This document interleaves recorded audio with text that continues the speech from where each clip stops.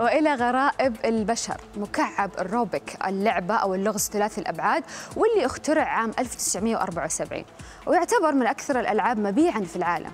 الهدف هو توحيد الألوان على كل جانب من المكعب بسرعة.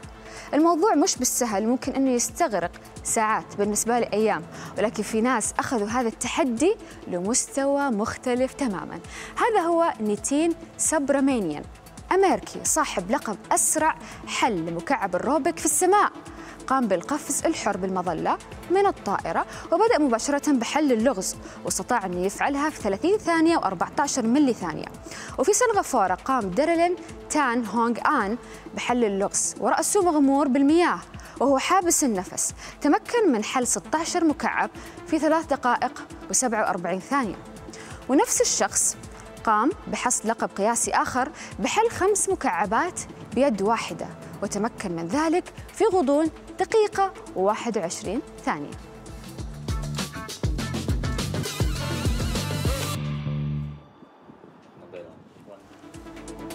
يمكن أن تكشف الأظافر عن صحة الإنسان. الأظافر السليمة تكون في العادة قوية ومرنة وملساء ولونها لامع وأي تغيرات تطال الأظافر زي مثلا ظهور بقع بيضاء أو تشققات أو تشوهات هي في الواقع إشارات إلى أمراض معينة. ومن المطلوب اجتماعيا كما نعلم من الجنسين الاهتمام بمظهر الأظافر لأنه يندرج تحت حسن المظهر.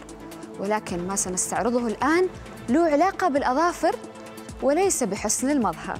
موسوعة جينيس الأرقام القياسية سجلت اسم هذه السيدة أيانا ويليامز كصاحبة أطول أظافر في العالم بعد ما أبقتها لمدة 30 عام.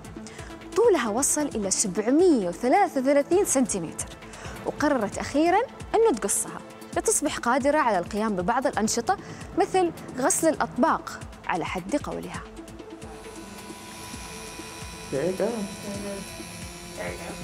I like that too. I know.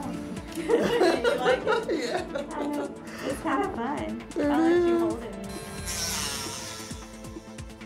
ولكن هذا ليس كل شيء انظروا إلى هذا الرجل شريدار شيلال من الهند صاحب الرقم القياسي لأطول أظافر في العالم ليد واحدة وسجل في موسوعة جينيس الأرقام القياسية أبقى أظافره لمدة 66 عام بعد ما بلغ طولها 200 سنتيمتر وقرر أخيراً قص أظافره لعرضها في متحف في الولايات المتحدة الأمريكية وفي عملية جراحية تم قص أظافره وقال شلال أصبحت مسناً وأصبحت حياتي بأظافري صعبة للغاية ورغم أنني أفتقد أظافري إلا أن قصها كان تحرراً इतके वर्ष आपण सांभाळलेले बघा आज नका कापला कापणार त्यामुळे हे जे वाढवलेलं आहे त्याला मी लोकांच्या प्र- प्रसिद्धी जी होती त्याच्यात